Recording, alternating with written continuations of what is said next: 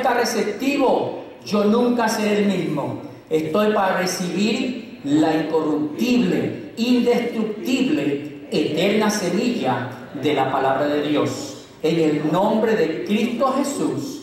Amén y amén y amén. Ya oramos, ¿no verdad? La semana pasada yo hice millonarios a muchos de ustedes.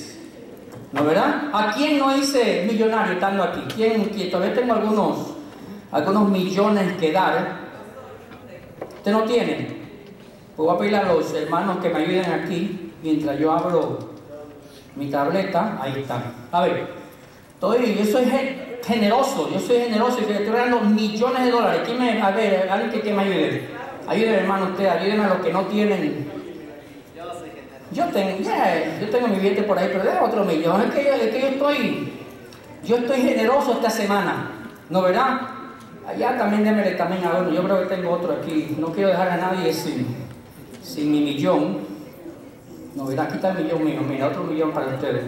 Y, y uno por persona, si quieres que te den otro, si, si, si ¿no verdad? Y, yo le diste este, este dinero a ustedes, este dinero, ¿no verán? Para que, y yo digo, mire, piense, ¿qué usted haría con un millón de dólares? Muchos harían así, mmm, compraría mi casa, me fuera a mi país, gracias hermano, me fuera a mi país y, y, comprara una mansión allá, porque con un millón de dólares se puede comprar una mansión allá, no verá, viviera como un rey y le hiciera la casa a mi mamá y, le hiciera esto, hiciera lo otro, hiciera muchas cosas. Pero le pregunto, ¿por cuánto tiempo es esa inversión o eso que usted está haciendo? ¿Por cuánto tiempo? ¿10, 20, 30 años? O una semana puede ser, porque acuérdense que la vida no está no está garantizado, ¿verdad? Se quedan, se pierde. A lo mejor te lo guarda en el banco, no voy a tener mi milloncito en el banco y cuando se muere se lo coge otro, hasta el gobierno se lo coge. ¿No verdad? Pero Señor Jesús hoy, a través de, la parábola que vamos a, terminar hoy, una parábola de los talentos, Él nos da una tremenda enseñanza. Le damos la bienvenida a los que nos están viendo por internet, bienvenido, que el Señor me lo bendiga. Abra su Biblia a Mateo 25 donde, el Señor Jesús habla de, una historia, una parábola, y nos da una tremenda enseñanza. Y, yo diría, eh, como dije la semana pasada, es tan importante que después de la salvación, ¿ok? La salvación lo más importante, es que usted entienda esta parábola, esta historia, porque el Señor nos va, eh, enseña lo que el Señor va a hacer después con nosotros. Y mira esta foto que, les puse aquí atrás. Esta foto. La próxima. Ese es el título del mensaje. Póngame el título del mensaje que estoy tratando de, cortar un poquito. Invirtiendo para la eternidad. Con ese millón usted invierte aquí y se queda y se pierde. El Señor nos enseña aquí que cómo invertir en la eternidad, en cosas que son para siempre. Y en la parte de 2 vamos, a terminar en este día eh, la, parábola. Pero la, segunda foto se llama el Tribunal de Cristo. Yo un día, y cuando digo yo, tiene que tener que usted también. Yo un día me voy a parar delante de Dios y tendré que dar cuenta de mi vida. Entienda, yo no fui creado para vivir esta vida para mí, Dios me creó para que yo se la dedique a Él, que los talentos que Él me dio, yo la semana pasada que los talentos, mi vida, mis habilidades, mi tiempo, mis recursos, mis oportunidades. Dios me da todos esos talentos y un día, dice la Biblia, vamos a ver la historia, Dios me pedirá cuenta para ver si fui un buen administrador de sus bienes, de sus talentos. Si lo usé para, para Dios, para su gloria, para el Evangelio, o fui egoísta y, lo usé para mí. Porque esto es mío. ¿No verá? Y mis talentos son míos y, lo que yo trabajo es mío. Y A pedir cuenta. Así vamos a ver rapidito en Mateo 25, versículo 14, dice así. Porque el reino de los cielos como un hombre que yéndose lejos, acuérdense que está hablando de Dios, llamó a sus siervos, o sea que llamó a usted y a mí, y les entregó, miren lo que dice ahí, sus bienes, no nuestros bienes, sus bienes se los entregó para que se administren. Y eso va relacionado con nosotros. Versículo 15. A uno dio cinco talentos, a otro dos y a otro uno. Oiga, oiga, cada uno conforme a, qué? A su capacidad. ¿Ok? Dios sabe, el Espíritu Santo sabe lo que somos capaces como Él nos ha dado las habilidades. Y luego se fue lejos. Un día cada uno de nosotros tendremos que dar cuenta al amo de nuestros bienes que le pertenecen a Él. Como dije, mis habilidades, mi tiempo, cómo invertí mi tiempo. ¿No verdad? Y hablamos que todo el mundo tiene 24-7. No, porque el pastor está. No, todos tienen 24-7. Todos tenemos oportunidades, todos tenemos habilidades. Y dice la Biblia, nos enseña esto que Dios nos recompensará de acuerdo al uso o vamos a ir con las manos vacías, como vemos en la foto, delante del rey. Señor, y ahí no va a haber excusa. Aquí hay excusa, ahí no va a haber excusa. La semana pasada vimos que el mensaje principal, lo que enseña esta parábola, es que la mejor inversión, esa es la próxima, la mejor inversión de nuestros talentos es en el reino de Dios, donde usted puede invertir, mira, con esos mil dólares o millón usted va al banco y le dan un por ciento y dos por ciento, lo que sea, pero la mejor inversión para la eternidad es que usted invierta su tiempo, sus habilidades, sus recursos en el reino de Dios. Por eso es eterno. Esa es la mejor inversión.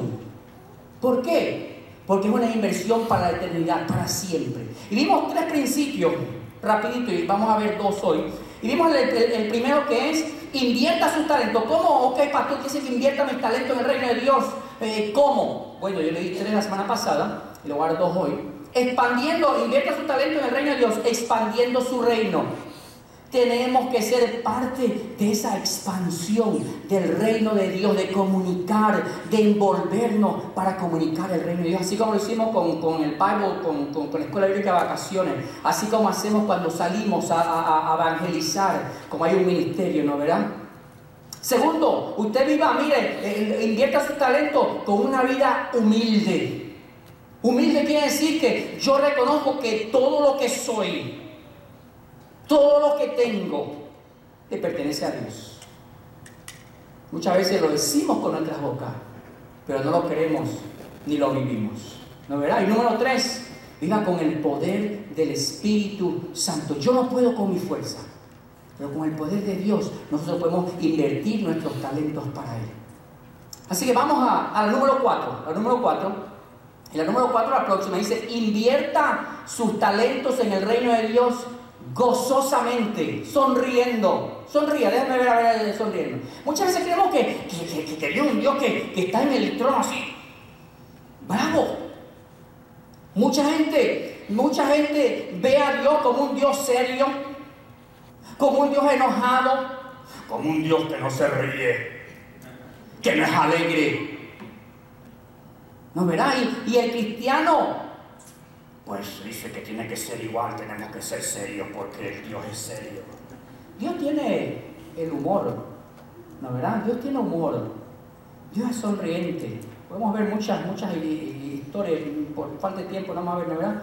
Pero, pero la, Biblia nos dice en muchas, en muchas partes que, que, Dios, que un cristiano debe ser alegre, gozoso, sonriente. Sonríale, sonríale, dele, órale, ¿no verá? Debe ser positivo. Debe ser positivo sirviendo a Dios. Vamos a ver ahorita de, la actitud, porque esto entra la actitud. Mientras yo invierta mi vida, mi talento en el reino de Dios, ¿cómo debe ser mi actitud entonces? Pastor, usted dice que tengo que ver, pero déjame, déjame servirle a este porque usted hizo una... No, debe ser algo natural, mi actitud. Le pregunto, ¿cómo es su actitud cuando usted sirve? Si voy a servir al Señor, si le voy a dedicar mis talentos a Dios, debo hacerlo con gozo. Y un gozo sincero. Un gozo que, que, que salga de adentro. En la parábola tenemos tres siervos. Dos tienen una tremenda actitud. ¿Se acuerdan? Nos dio cinco y cinco más y dos y dos más. Pero hay uno que tiene una actitud terrible y ese que nos vamos a concentrar un poquito hoy. Tiene una actitud negativa. Mira lo que dice en Mateo 25, 18. Y está aquí atrás también, no sé qué no tenemos. Pero el que había recibido uno fue y cavó en la tierra y le escondió el dinero de su Señor. O sea que el talento, lo que Dios le dio, porque es su capacidad, fue y lo escondió. Versículo 24, 25, 24. Pero llegando también el que había recibido un talento, dijo, ahora le va a pedir cuenta, estamos brincando, Señor, oiga, te conocía que eres un hombre duro, mira el concepto que él tiene de Dios, que ciega donde no sembraste y recoge donde no esparciste. Por lo cual tuve miedo y fui y lo metí en la tierra y escondí tu talento. Déjame sacarlo, lo limpió un poquito y dice, aquí está lo que es tuyo. Y lo que vemos aquí que este siervo tenía una actitud negativa hacia Dios. te pregunto a ti en esta tarde, cuando tú piensas de Dios, cuando tú ves a Dios, ¿cómo tú lo ves? ¿Cómo tú piensas de Dios? ¿Cómo usted piensa de Dios? ¿Es un Dios duro, un Dios malo? ¿Un Dios que quiere darnos por la cabeza cuando nos portamos mal? Este, este siervo pensaba que Dios es duro. Él pensaba que no era justo. Ay, que me hace trabajar, mira estos talentos para que, para que oh, yo lo escondo y guardo. ¿no? Es que esta, verdad bíblica Hacemos el espacio en los boletines para que escribir las verdades. Si nuestra visión de Dios está mal, nuestra conducta y actitud será incorrecta. Si mi visión de Dios está mal, que es un Dios duro, que es un Dios eh, eh, eh, difícil, pues yo voy a hacer las cosas con, con mala actitud. Quiero decirle que su actitud mientras sirve será mala si usted tiene esa, esa si usted piensa que Dios es así y no le irá bien en el, tribunal de Cristo. En el Salmo 100, versículo 10 se dice, servir a Jehová con qué? ¿Con qué dice ahí? Con alegría. ¿No, verdad? Venir de su presencia con qué? Con regocijo, goces en el Señor. A veces creemos que, ay, ese hermano se mueve mucho y no, goces en el Señor. La, Biblia dice que nuestras obras, nuestro servicio, nuestro talento deben ser, van a ser probados por Dios también para qué actitud tenemos cuando le servimos. Cuando ustedes sirven a Dios, la actitud vale mucho. No se vayan aquí en esta diciendo, voy a servir a Dios porque ese pastor está sigue insistiendo que hay que servirle, pero hay que servir a la gente. Esa actitud está mal. No sirva con de mala gana ay, voy a servir a Dios porque lo dice en su palabra, esa historia. No. Debemos servir a Dios y, verlo como es mire, mire, mire, es un privilegio servirle a Dios y servirle a su gente. ¿Sabía eso? Y Dios nos ha escogido para eso. Ahora, ¿cómo debe ser nuestra actitud? Nuestra actitud debe ser como los primeros dos dos siervos que vemos aquí en Mateo 25, 16. Mire, mire, mire. Y el que había recibido cinco, esta va a ser su actitud, debe ser nuestra actitud. Talento fue y negoció con ellos. Sí, Señor, gracias, porque esos talentos déjame irlos a negociarlos y ganó otros cinco. Así mismo el que había recibido, gracias Señor, lo que tú me diste dos, déjame invertirlo y, y, dio y ganó dos más. O sea que debo seguir a Dios con, con gozo y con gratitud. ¿Por qué con gratitud? ¿Por qué yo debo servir? Él me ha dado talento, pero ¿por qué yo debo servirlo con, con gratitud? Bueno, algunas razones, porque Él ha perdonado todos nuestros pecados. Porque sus misericordias son nuevas cada mañana. Porque, porque Él no me paga lo que yo merezco. Claro que tengo que ser agradecido a Él. Yo soy agradecido porque Dios es un Dios bueno, que es lento para la ira y grande en misericordia. Yo tengo que, tener una, actitud agradecida a Él porque, porque Él me bendice más de lo que merecemos.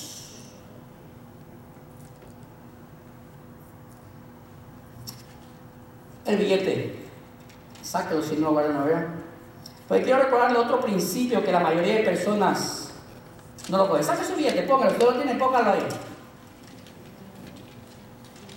¿Cuánto diezmo usted debe dar de este billete? ¿Quién, sabe?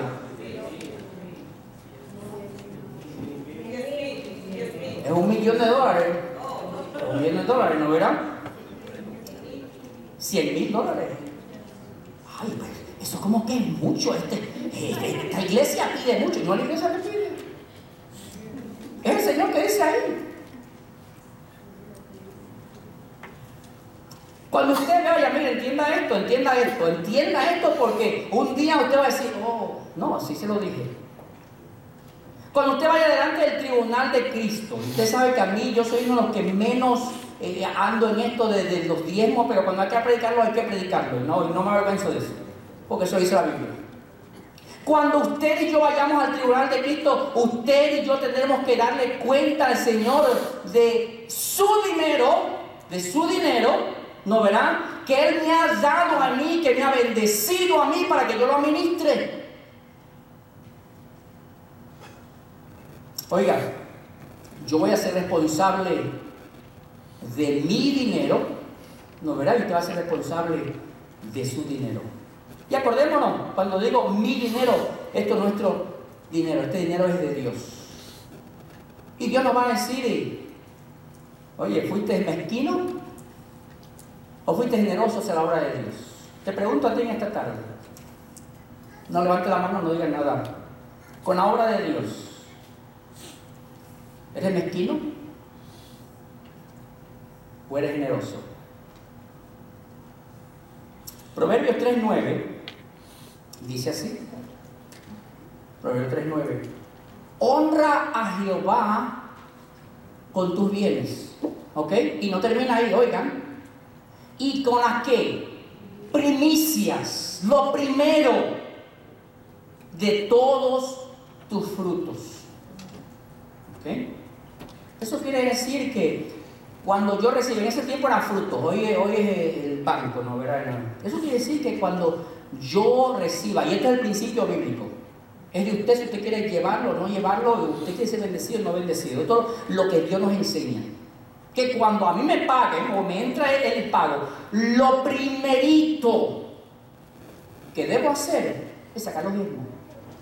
Pues ¿sabes lo que hacemos? Porque ahí estoy yo también muchas veces, ¿sabes? le pago el carro, y le pago el mortgage, y le pago la renta, y le pago el cable, que tengo 50 mil cables, y pago el teléfono que tiene, que pago ni sé cuánto el teléfono, y, si me queda, abierto para esto. Pues Dios ha traído esa actitud. Y vamos ahorita, mire, entienda, Dios no necesita nuestro dinero. Ay, pastor, ¿para qué predica? Bueno, porque eso lo enseña Dios. Dios quiere ver la actitud. Ay, Señor, te amo. Tú eres lo más importante que hay en mi vida y te quiero. Y pues enséñalo con los actos. El Señor también con el bolsillo. Este cara no tiene nada. Este. La esposa mía es que, que, tiene el dinero, ¿no? ¿Verdad? Pero con el, con el bolsillo.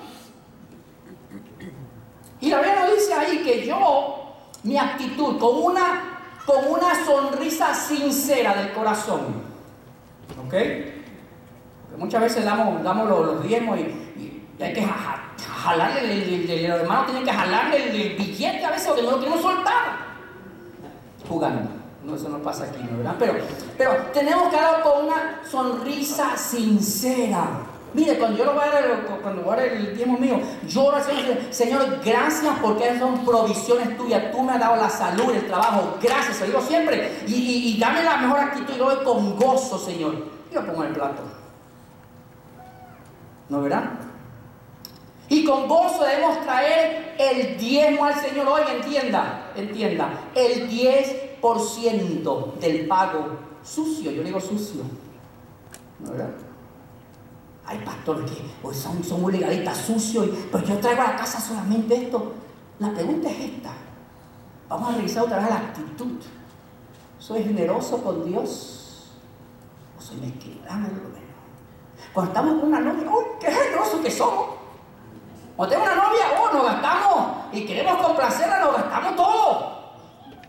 Después de casado como que le cortamos un poquito y muchas veces no queremos, no queremos, no verdad, dar, pero, oiga, pero cuando somos novios somos espléndidos y, los mejores perfumes y, las mejores cosas.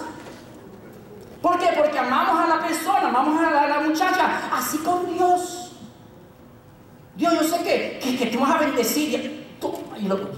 Y, que hágalo con gozo. ¿No verá? Pastor, ¿por qué yo tengo que darle a Dios de mi dinero? ¿No verá? Acordémonos, no es su dinero.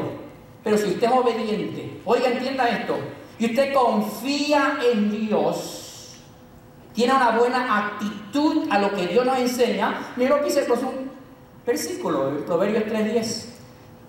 Y serán llenos, oiga, oiga, tus graneros con qué? Con abundancia. Pruebe a Dios con abundancia y tus lagares rebosarán de qué? De mosto. En simple español, el Señor lo va a bendecir con más que usted no puede ya, porque ha sido un buen administrador y tiene una buena actitud hacia Él. Jóvenes, jóvenes, fueron al campamento, adultos, oigan este principio, póngale oído, póngale oído porque el Señor no miente. El Señor lo va a decir. Mira lo que dice en 2 Corintios en este principio. 2 Corintios 9, 6 y 7. Por esto dijo, entienda, entienda, esto dice el Señor, el que siembra escasamente, o sea, el que es tacaño con Dios, también segará que escasamente. Es un principio bíblico. Y, el y la Biblia dice, el que siembra generosamente para la obra de Dios, generosamente también que segará. Y no termina ahí. Porque no solamente dar, ay pastor mío, que no, mira lo que dice el próximo versículo. Cada uno de como propuso en su corazón. Dios ve el corazón, yo no el corazón, usted puede Dios ve el corazón. Esto es algo importantísimo en el diezmo y las ofrendas. Usted puede dar, mire, usted puede ser el más diezmador aquí, pero si no lo da con la actitud correcta, de nada vale. La actitud es importantísima. Así que cada uno de como propuso en su corazón, no con tristeza. Ay, este diezmo otra vez, que lo puedo usar en otro teléfono, lo puedo usar en la TV, lo puedo... No. Ni por necesidad. Dios no tiene necesidad. Dios quiere ver nuestra actitud. Quiere ver si Él es primero de verdad. Lo decimos con nuestra boca que Él es primero, pero no, no lo decimos con nuestros hechos. Porque Dios ama a quién? Al dador alegre. ¿Cómo usted podemos hacer las actividades? Como usted ve, con, con, sus diezmos, ofrendas, podemos hacer las actividades. Podemos hacer la escuela de vacaciones, pagamos para que los jóvenes sean bendecidos, muchos de esos. Cuando hacemos actividades de, alcance, podemos tener el culto aquí los, domingos con aire acondicionado, con las ofrendas suyas, con los diezmos y ofrendas que ustedes hagan. Así que gracias, gracias a los fieles que son con el Señor. Si el Señor está hablando, pues mire, oíganlo. Yo no sé quién da y quién no da. De verdad, sinceramente, yo no sé quién da. Eso es entre usted y el Señor. No estoy predicando esto porque, algunos no. No, no, no. no. El Señor sabe. Y los que perdemos, no lo puse ahí, pero el que pierde cuando no hace esto es uno solo. Uno. Déjeme terminar este tópico de los diezmos. Y lo digo con todo amor y con toda sinceridad. Si usted no va a sus diezmos con gozo y alegría, mire, Dios no quiere su dinero. Dios no lo quiere. No es el pastor, pero eso es, eso es raro. No. Porque la actitud cuenta. Mire, mire, cuando usted vaya a lo que dé, délo con gozo y, y délo como que el Señor, bueno, no que como, como el, Señor está viendo, con gozo, Señor, para tu obra aquí. ¿No verá? Dios no necesita nuestro dinero ni nuestro apoyo. Él es el dueño del universo. Él quiere ver nuestra actitud. Él quiere ver si somos obedientes. Y Él quiere ver si debemos devolver un poquito de lo que nos Acuérdense, Dios ama a quién? Al dador alegre. Así que mire, llévese eso hoy. dé alegremente, sea, sea eh, eh, eh, con la obra de Dios.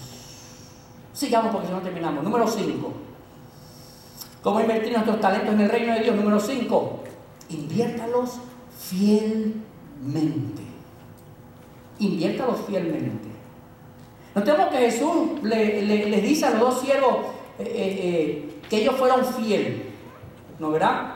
El Señor le, dio cinco y Dios, ustedes fueron fieles. No dijo, ah, porque no me diste 25 más. No, el Señor quiere fidelidad. Y le, hace, le usa más palabras a los dos, al que tuvo cinco y al que tuvo dos. Te pregunto en esta tarde a ti. Te pregunto en esta tarde a ti. ¿Estás sirviendo fielmente? Hay muchas áreas para servir. Ay, que yo no sé. Hay muchas áreas para servir. ¿No verdad? ¿Te envuelves para servir? a mí me gustó el, viernes ese, el día del, cuando terminamos con la vieja ¿no? que, que dice que, parecían ratoncitos, la mayoría de la iglesia estaba ahí, y limpiando y saca esto, y pastor aquí, y, todo el mundo, gracias. Eso es que Dios que nos envolvamos en su servicio, claro que hay. Ah, pastor, aquí no tengo tiempo para eso. No me gusta Es que no me gusta envolverme. Yo quiero venir los domingos nomás. Bueno, va a tener que darle cuenta al Señor. Pastor, que no me gusta, no me gusta trabajar con esos hermanos. Es que estos hermanos, algunos hermanitos, no me gustan. Mira, acostúmbrase porque están en el cielo, en el cielo juntos. Por toda la eternidad. Pastor, es que los niños. Pastor, es que el trabajo. Te pregunto, ¿Qué excusa le vas a dar a Dios? Porque Dios, Dios no va a aceptar excusa. Cuando vayas ante el trono, como puse esa foto, no verás con las manos vacías. Dios no va a aceptar el que no tengo tiempo. Dios no va a aceptar el que yo no pude porque todos somos iguales, tenemos el mismo tiempo, tenemos las mismas, Dios nos da las habilidades que son. Vimos la semana pasada que cada cristiano, usted es un seguidor de Cristo, usted tiene habilidades. Y Dios le ha dado eso para, para, para el servicio del Señor. Mateo 25, 29. Vamos a la recta final. Mateo 25, 29. Porque al que tiene, y este es un principio tremendo, porque al que tiene, oiga, le será dado y tendrá que más. Mire lo opuesto ahora. Pero el que no tiene, o sea, el que no lo usa, Dios lo ha capacitado, pero no lo usa, aún lo que tiene que, le será quitado. Eso no lo digo yo, ni es este principio de esta iglesia, ni el principio de los bautistas, ni No, es un principio bíblico. Mire, si usted tiene su Biblia y al lado de su Biblia, póngale la ley espiritual del uso. ¿Ok? Al lado de ese versículo.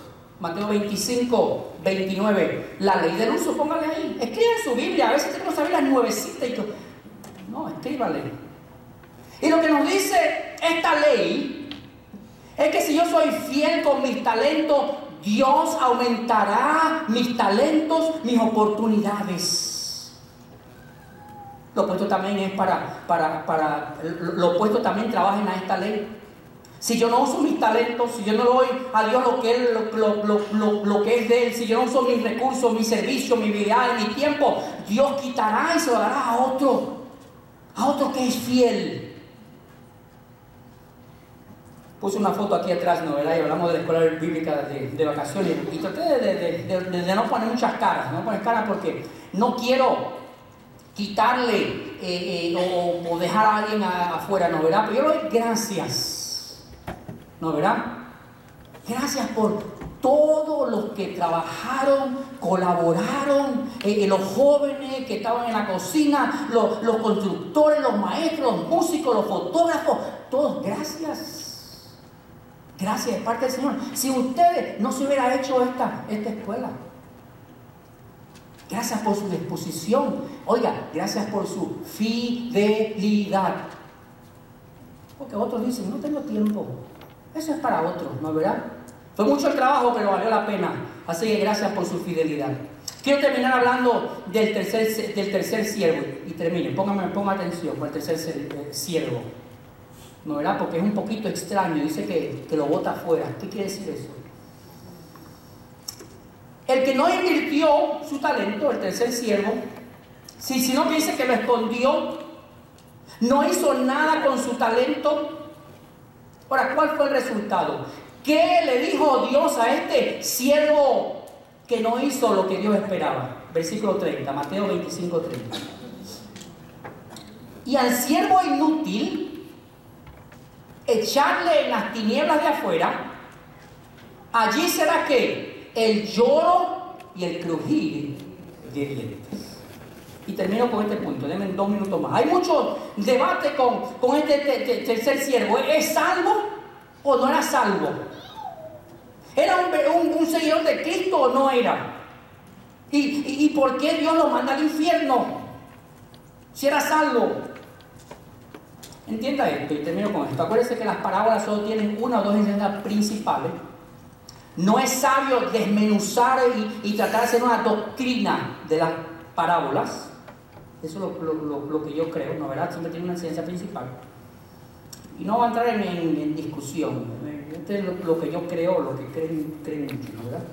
Pero personalmente creo que, y, nadie sabe claramente esto, este siervo nunca fue un cristiano, nunca fue un, seguidor de Cristo. ¿Por qué? Pastor, ¿por qué, usted, ¿por qué dice eso? ¿Por qué cree así?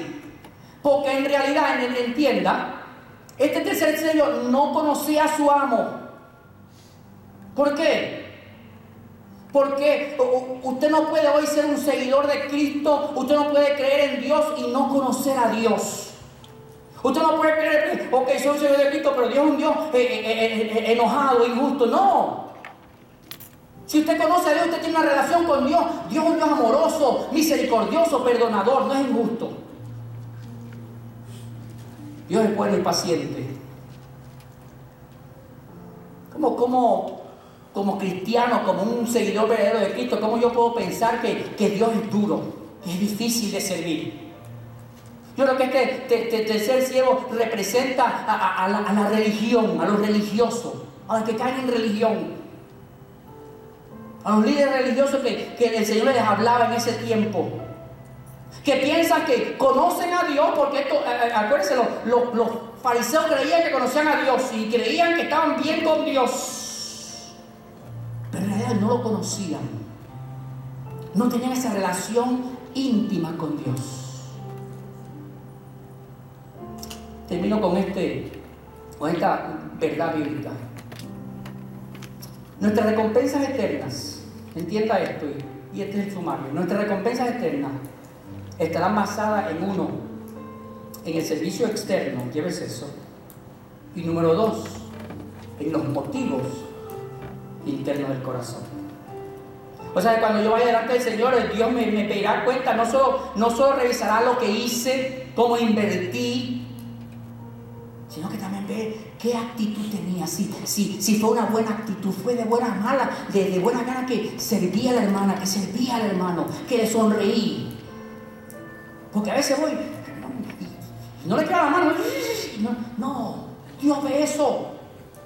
Y si usted no puede hacer eso, mire, pida Señor, yo quiero ser sincero con mis hermanos, ayúdame. Y Dios me va a ayudar. Él va a ver la actitud. Termino con este llamamiento. Para poder invertir en el cielo, el primer paso es que usted tiene que ir al cielo.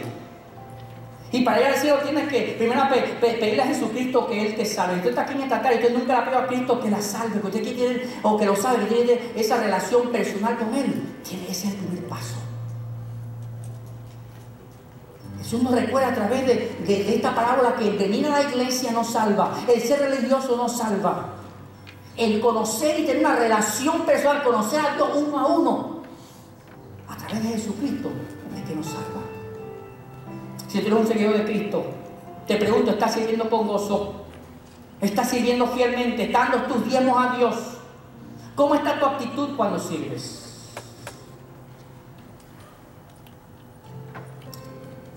¿Dónde estás invirtiendo? ¿Estás invirtiendo para el hoy? ¿O estás invirtiendo para el mañana, para la eternidad? Oremos. Señor, gracias por tu palabra, por tu fidelidad. Gracias por tu enseñanza, Señor, porque tú nos enseñas aquí para que no vayan, para que no vayamos al otro lado sin saber. Ayúdanos a ser esos siervos fieles, esos siervos generosos, esos siervos, Señor, que quieren dar eh, nuestro tiempo, nuestra vida, nuestras habilidades a tu servicio, Señor. Ayúdanos a invertir sabia y correctamente en el reino de Dios. Así con las cabezas bajas. Aquí en esta tarde necesita oración. Dios le ha tocado porque usted necesita salvación. Usted nunca la al Señor Jesucristo que entre a su vida y que lo salve, que la salve. Que usted quiere esa relación, que usted quiere ir al cielo. Levante su mano, quiero orar por usted. Habrá alguien. Habrá. Cristiano que estás aquí. Si el Señor te ha hablado a través de la palabra te ha inquietado, te ha dicho tienes que hacer esto, tienes que cambiar el otro. Ahí en, tu banco, levanta tu mano, quiero orar por ti. El Señor, te, Señor, el Señor te, te ha hablado, háblalo. Háblalo. Señor, gracias te damos por tu palabra. Gracias por tu fidelidad. Gracias, Señor, porque tu palabra es viva, es eficaz, es simple. Para que la entendamos para que podamos vivir vidas bendecidas y vidas victoriosas mientras esperamos tu venida, Señor. Ayúdanos, enséñanos cómo invertir en la mejor inversión que es en el reino de Dios, Señor. Vamos a ir en ese día, delante de tu presencia, con nuestras manos llenas, Señor, delante de ti. Ayúdanos, Padre. En el nombre de Cristo Jesús oramos. Amén. Y amén.